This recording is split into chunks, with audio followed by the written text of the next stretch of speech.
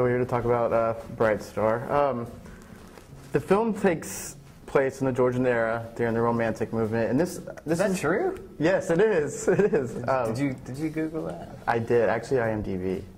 I should And, do uh, that. Um, um, what was it like doing? You know, like doing a period piece. Uh, You can give me a straight answer and then a funny answer. I'm trying to knock down all the the the inappropriate answers that are coming to mind. You can just let them all out. Nope, won't do it. This is an no, un- working un- on working on. This is a red band movie site. Tourette's. I'm working on anti. Um, it, it, it, it, it, it didn't matter what Jane wanted to do. Like if she wanted to get in touch with me and make a movie, then I would just do what she, you know. If she wanted to do like a Fred Wiseman style documentary about bowel movements, then I would be in it. Whenever you went in to read, did you go in to read for Mr. Brown, or did you read for any character? And she was like, "This is who you're gonna be." No, no, I, I made I made her a videotape because she was she was in, in Australia, and uh, and so. Well, first of all, apparently she was on. Uh, she saw the assassination of Jesse James, and so then she came back, and um, uh, I found out that she wanted to get in touch with me about a movie, and, and I, I'm, I'm a big fan of the piano. I ended up uh, reading the script that she sent. Sort of, it was very sort of surreal the whole time. She she called up, which was kind of surreal, and uh, and and and she just wanted me to give a Scottish accent like a shot on on you know on camera for her to see if I. I could I could do it. And so I went and rented uh, Trainspotting, and I think I just aped Kelly Macdonald, a couple sort of Kelly Macdonald monologues on camera for her, and then I gave her just a crap load of my ideas for um, for Charles Brown. And it's lucky that I had any because sometimes you read a script and it might be fantastic, and they might say like, uh, you know, go read for this dude, and you read the dude, and you're like, it's a great script, but I just don't, I don't understand what I would do with it. Like, why you would hire me over somebody else? Yeah. Um, but no, it's very much a process of me like going to get the job. You know, I think that's one thing that people, I don't know if they realize, but um, you know, I got to go get jobs. It's not like anybody's just knocking on my door and saying, like, "Hey, do you want to come and do a- this thing? Ha- do, you, do you just want this job?" I have to go interview for it. Yeah. That was a pretty epic answer. Thank you. It's a lo- it was such a long one. I'm sorry. No, it was great. Um, in film, you seem to gravitate more towards like serious roles, but you're like a really funny guy. What do you like doing better, comedy or drama? Well, the problem is, is my, my mother is the problem because she she she thinks I'm really funny, and so when I when I'm at home, Mothers are always right.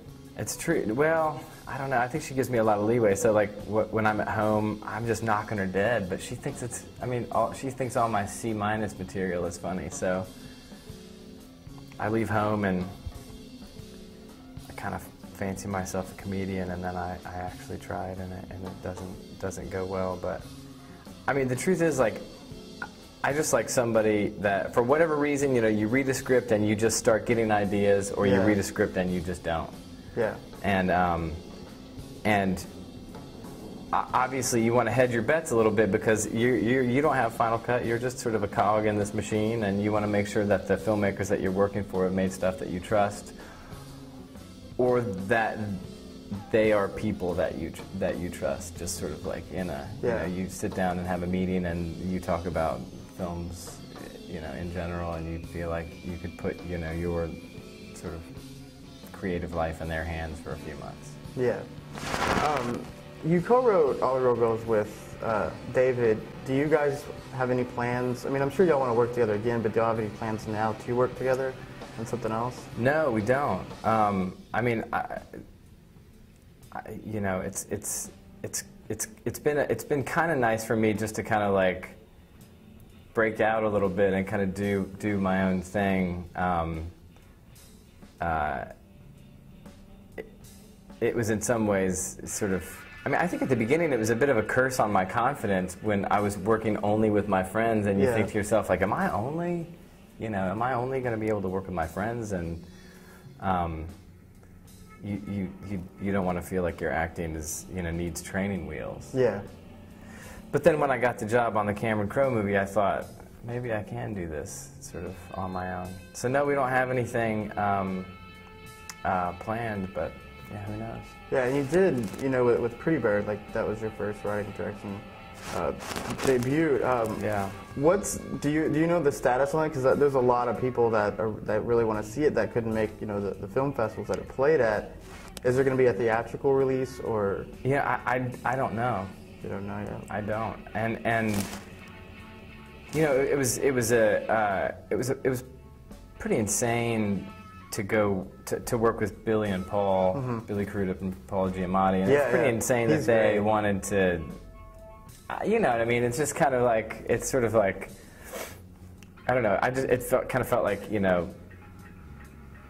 It's like if M- Meshuggah came by your practice space and felt like they wanted you to open for them Yeah. and you would say, "But you guys are so much better than they, And um, it was pretty intimidating, but it was also really fantastic because those guys really allowed me to direct them. You know. Yeah.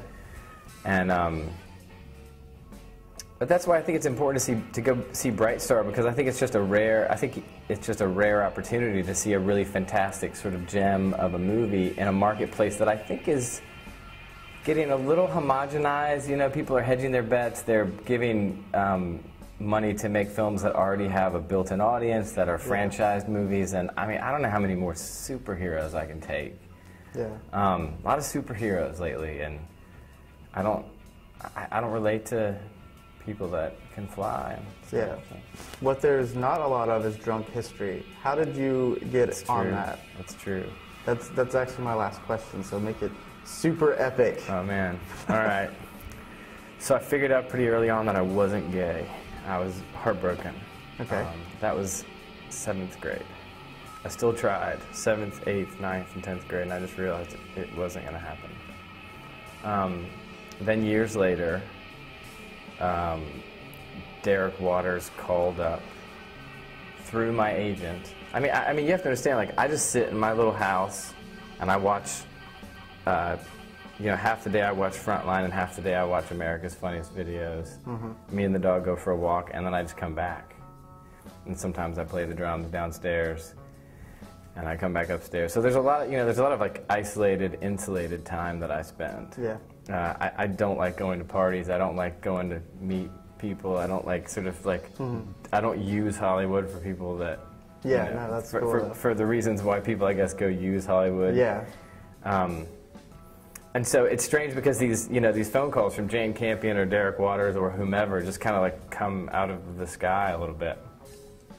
And he called up and and said uh, he he just liked the stuff that I did, and it's, I mean, that's also sort of strange because you think you're just sort of like working in a vacuum, you know, yeah. you think like you and your parents are the only people that know what you're doing. Um, but apparently people are watching movies, and, and I think that's great. And, and he called up and said, uh, you know, do you want to do this? And I said, come film. I'm already drunk. And he said, oh no no, we want you to be the guy who who's sober. And I was like, oh man, it's um, disappointing. And uh, so we, we literally we just shot it up the street at, at this dude's house, and it was like a day, you know. Yeah. But the, the real champion, and I can't, I, I need to go figure out the guy's name. I knew it for a minute. The real champion is the actual drunk. Yeah, they got they got really drunk. And people have asked me, like, do you, like, are those guys really drunk? And I mean, I think you can tell that they are. Yeah. Like, I think you can tell when people are. Whenever they're faking a little throwing up, I mean, Yeah, I mean, like, like, if that guy's, I mean, that's some like Daniel Day Lewis shit. It's like that guy totally threw up for for fake. Um, but that guy told an insane story, and um, I mean, obviously, the trick of that that uh, that whole little web series is just getting your your mouth exactly, you know, Yeah. your mouth and this drunk person's words sort of, You know, like hiccuping you know, yeah, that. exactly in sync, and. Uh, I mean, that idea, I mean, had crazy legs, and um, I mean, I think I think Derek is, I mean, to have stumbled upon that idea is is, I mean, it was like crazy genius. So, yeah, absolutely. So um, he asked me to do it, and, and uh, you know, it's just like an And afternoon. you rocked it out. I I did. I, I, I mean, I, I laid there and I let those dudes throw fake snakes on me. So, It was great. I, yeah, I think it was really funny. Well, it was. So, well, cool. Well, that's it. We're out. Why? Gotta go, man. That's BS.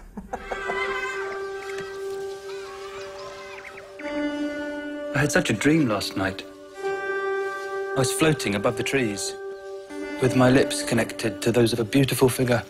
Whose lips? Were they my lips? I'm not sure he really likes me.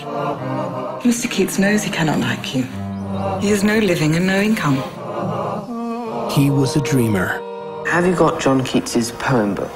My sister has met the author, and she wants to read it for herself to see if he's an idiot or not. She was a realist. All I wear, I've sewn and designed myself. Men's room, out. Poet's got to do a bit of writing. My stitching has more merit and admirers than your two scribblings put together, and I can make money from it. But every word he wrote inspired the rapture of first love. A thing of beauty is a joy forever. Its loveliness increases, it will never pass into nothingness. This fall, from Academy Award winner Jane Campion, comes a romance that would live forever. I get anxious if I don't see her. When I don't hear from him, it's as if I've died. As if the air is sucked out from my lungs.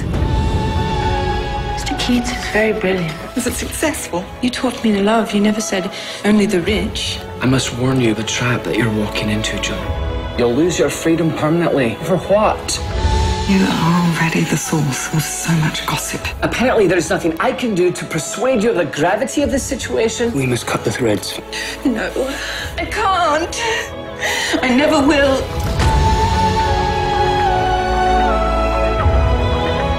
You know I would do anything. It is a game. It is a game to her. There is a holiness to the heart's affections. You know nothing of that.